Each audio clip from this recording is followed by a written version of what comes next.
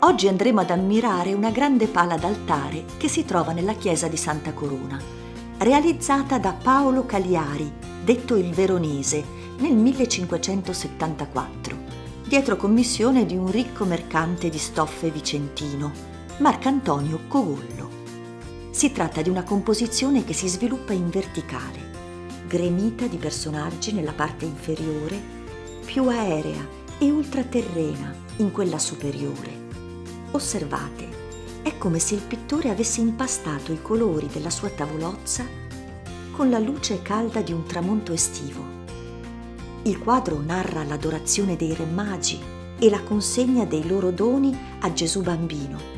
Ma così, al primo sguardo, ci appare invece come una scena profana, popolata da eleganti gentiluomini, vestiti alla moda del Cinquecento, attorniati da paggi, scudieri e soldati se non fosse per quella luce che piove dall'alto, filtrando tra nuvoloni blu sorretti da graziosi angioletti. Spicca in basso, in primo piano, la veste di raso di un piccolo paggio. È bianco argentea, sembra racchiudere dentro di sé tutte le gradazioni della luce. I mantelli che avvolgono a destra i corpi dei due magi e di Maria sono colorati di rosso, giallo e azzurro tinte primarie e fondamentali che catturano subito il nostro sguardo, ciascuna con un tono ed un carattere diverso, ben distinto, chiuso nel proprio spazio. È lì la porzione più importante, il centro emotivo dell'opera. Non si trova nel mezzo della pala, come ci si sarebbe aspettato, ma è spostato a lato. È la perdita della centralità, il chiaro segnale che stiamo già uscendo dal Rinascimento e stiamo varcando la soglia di un altro tempo, il manierismo. Ma ci sono altri luoghi importanti nel dipinto. Andiamo a cercarli. Il centro geometrico, per esempio.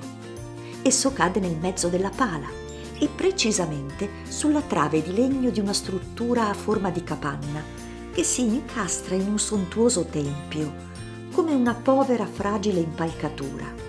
Non è difficile comprendere che è il simbolo della Chiesa quella povera delle origini, che si innesta in quella gloriosa, successiva, di cui lei, Maria, è e sarà il sostegno portante. Non a caso il pittore l'ha posta ai piedi di una colonna maestosa, chiara, perfetta nella sua eleganza, che si innalza alle sue spalle. Ed il centro prospettico dove si trova?